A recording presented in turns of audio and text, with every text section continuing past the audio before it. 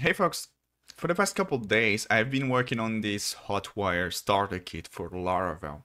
And I think I got a really solid foundation over here. So let's start a fresh Laravel application using this starter kit. So what we have to do is we have to run Laravel new and then we give the application name and test and then we have to specify which starter kit we are going to use. In this case, this has to be the packages name. So it's the same one that you would run a composer require, but in our case, it's the same as our GitHub organization. So we just use that. And I'm going to specify the pass flag. And what this is going to do is this will set up a fresh Laravel application using Turbo Laravel, Tailwind CSS Laravel, import maps, Stimulus Laravel, and also Daisy UI for the component library. And this setup, even though it actually works with Vite and all that, and maybe I'll create one another starter kit for Hotwire and Vite. It doesn't actually depend on Node, so we don't even need Node installed locally to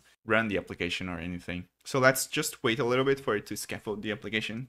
Now it's asking if we want to run an npm install and npm run build. Let's censor no because we don't actually need. Now we can cd into that folder and from here we can run composer run dev. That's all. So we should be able to go to localhost 8000 and see the application. So this is the application. I tried to match the styles of the Laravel official starter kits, but it's using Daisy UI, so a few things are different. Let's just sign up over here. And yeah, so this is the dashboard. As you can see, we have a navigation over here. We have some links that go nowhere, like the search, it's not actually implemented. But we have the source code, the documentation for Turbo Laravel and all that. And we have a theme switcher over here with all the Daisy UI themes. Not all of them, actually. It's just a handful. Um, so you can just change your theme, the look and, of the application over here to one that you like, and the entire application will just change accordingly. So if we click, by the way, I clicked on the profile and you see this profile and settings menu. So everything actually changes, which is pretty good. Like it's not just the accent colors and all that. It's like the rounding in the theme is different than the other ones. Anyways, so I'm gonna choose Dracula because that's a good one. And then if we hit save over here, we can see that it's actually, we have a uh, nice status flash message over here. And this is the application, this, this starter kit for Hotwire. One thing that you may notice is that it's actually already comes ready to be integrated with a Hotwire native application over here. So you need to set up a fresh Hotwire native application, which you can do on your own. In our case over here, I have created a sample application. It's like there's just a handful of classes, which you can do by copying the Hotwire native starter guide and also the demo application that comes with Hotwire native. But what's important over here is that I'm, I'm using the base URL over here of this is localhost inside the Android emulator. So we are gonna use this localhost stuff and yeah, the rest is just setting up the application. So let's start the emulator over here and see what we get. So we have the login screen of the application. This is actually the same, it's a web view with a the way Hotwire Native works, and it's kind of outside of the scope of this video. This, this is just the introduction to the starter kit, but the way it works is it wraps the web content so your web application will serve as a mobile application as well. So it's a web first kind of way of building native applications. And what you can do over here, let's log in real quick. So as you can see, we have the dashboard. This title bar is actually fully native. This bottom navigation over here is also fully native. The rest is a shell, a web shell. So we can navigate back and forth between the dashboard and the profile settings. And then from the profile settings, we can edit. And this is also really cool over here. So as you can see, the Hotwire Starter Kit comes with some examples of bridge components. Bridge components is, is a way to integrate the native shell of a Hotwire native application with the web contents. So in this case, we actually lifting up this web button over here to the native navigation title bar.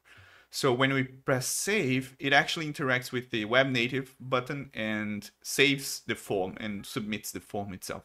So that's pretty cool. One thing that we can do is go back to our application over here and open the head. And over here, I'm just gonna paste it here because it's easier. But we can say, and by the way, the examples for this are in the native documentation. So you can go to bridge components and there's this is how you can hide the web elements when a bridge component is available for that element.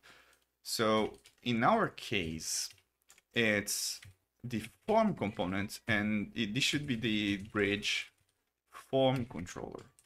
And we want to hide the submit button. So let's just do that. And then voila, we didn't have to do anything because it comes with hot reload enabled. So whenever we change stuff, the mobile application also gets affected. And if you want to test that, let's go to the edit profile screen. And over here, let's just say profile something. If I can type, save, go back. The title of the toolbar actually changed. So that's pretty cool. And yeah, so as you can see, we are hiding the form submit button if the component is available over here. So let's do one more thing. Let's integrate. So Joe, Joe Masilotti has this set of components over here. Let's just use one of those, like the toast one. So I'm just gonna copy the toast component over here. And let's go to the native. I'm gonna paste create a class toast component like this. And then that should be enough. Yes. And then we have to go to my app and register the toast component like this. Okay, and once that's registered, we can rebuild the application, but we have to do something in our web application over here. So as you can see, we do have a toast controller. And as soon as we connect this controller, this is a bridge component, not a regular stimulus controller, but it works the same way.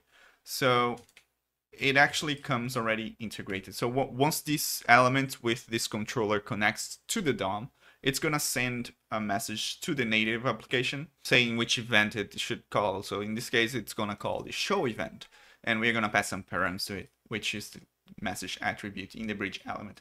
So if we go to our notice partial over here, you can see that we are actually using the bridge toast and we are setting the, the bridge element message attribute. And yeah, so that's all we need to do over here.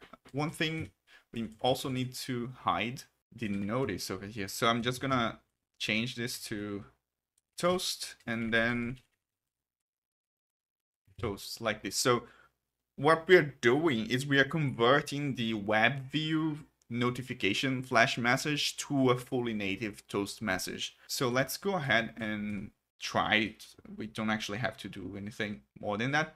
So let's just save and see the notification was converted to a toast message. So this is how you can augment your web functionality with native functionality. There is a set of components in here from Joe. He, also, this these are most of these components are free, but it's actually a paid thing. So some components like the barcode scanner, which you can do, this, it's actually paid. And the document scanner, uh, same thing. But location notification, all that is paid, but everything else is free to use. You just copy and paste into your application and you're good to go. So yeah that's that's what i wanted to show y'all. And this is a starter kit. It comes with a set of themes. It comes integrated with hotwire native so you can just start using that and making your awesome laravel applications using hotwire. So yeah let me know what you think and i'll see you when i see you. Bye